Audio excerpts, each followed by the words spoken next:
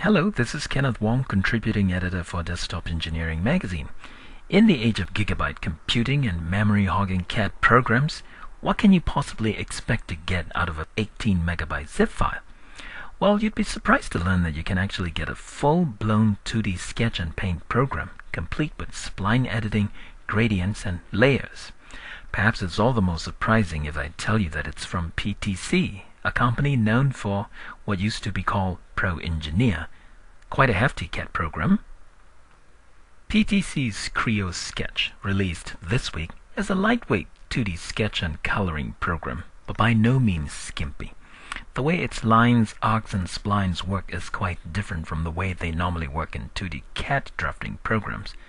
I'd say in Creo Sketch they are much easier to manage.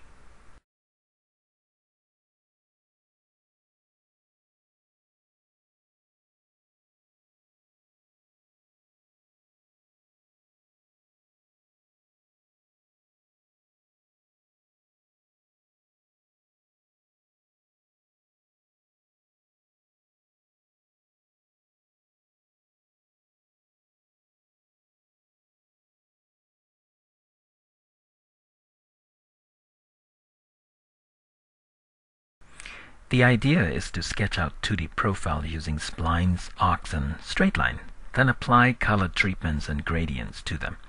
If you'd like to fill colors, it's important to make sure your profiles are closed.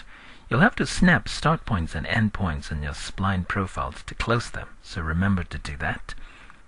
One of the creative color methods that's available in Creo Sketch is the use of friskets, as PTC calls them. What you do is choose to either color inside or color outside the frisket. Then choose a brush and start painting. The software automatically leaves the colors inside or outside the profile for you.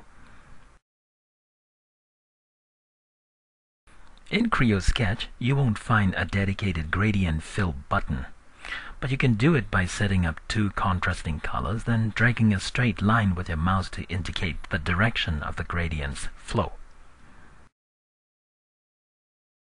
You can also add text to your design with full support for a wide variety of fonts and colors. Then you can use layers, much like you would use them in Photoshop or Illustrator, to stack up your color patches. A couple of observations here. In Creo, you need to click the middle mouse button to terminate a command, like spline. Even though your paints and colors are applied based on sketch profiles, they're not really associated to the original sketch driven by the spline. In other words, after you apply a paint treatment to a spline profile, if you go back and edit the spline profile, the paint profile would not automatically update, so keep that in mind. Zooming into the drawing is straightforward. There may be, I think, an easier way to pan around the canvas or zoom to a specific area on the canvas, which I can't seem to find. Creo Sketch is not meant to be a precision drafting tool like AutoCAD LT from Autodesk or DraftSight from Dassault Systems. It's probably closer to Autodesk Sketchbook Designer in my view, but like DraftSight, PTC's Creo Sketch is free. You can just download it from PTC's website as a small, simple, easy to learn program giving you a lot of play for just a little bit of disk space.